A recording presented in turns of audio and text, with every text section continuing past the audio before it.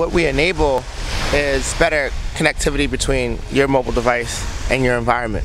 Uh, so uh, whether that's you know ticketing, um, we're shortlisted this year where your device can broadcast ticketing data using sound to uh, a corresponding check-in device and allow easy check-in uh, to you know transmitting your payment information to checkout to transmitting uh, you know allowing Bluetooth to pair better. Um, I think uh, our ultimate goal is to, is to use this as become a standard for device-to-device connectivity and uh, improve consumer experiences wherever they are.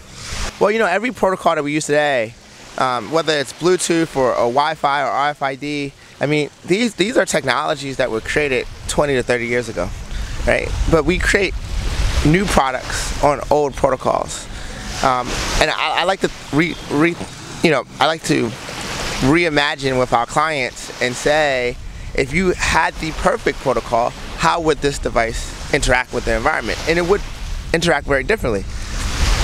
I think ticketing is just one of those use cases that's it's very very real. The only reason why you line up is that it's a one-to-one authentication based on a barcode. Um, that's not the optimal consumer experience to have everyone line up. If I could identify everyone in the line, I would make a, a wiser choice on who should get in and when and how.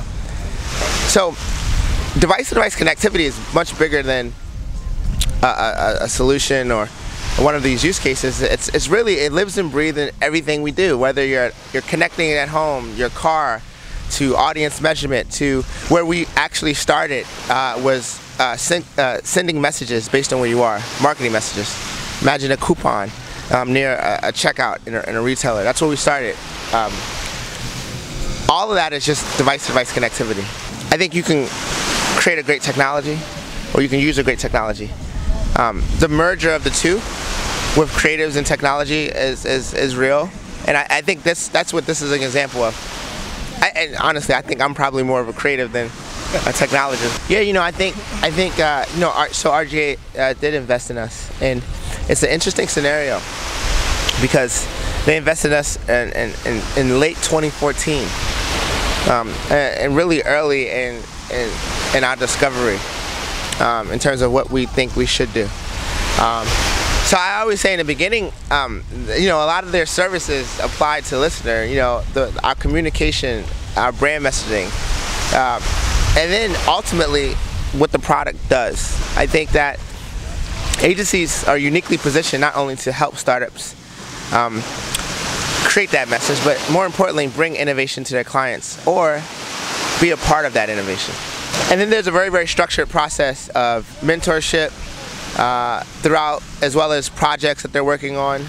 Um, and, and, when we were in Accelerator, uh, they also uh, were pitching us to their clients in a, in a very structured way.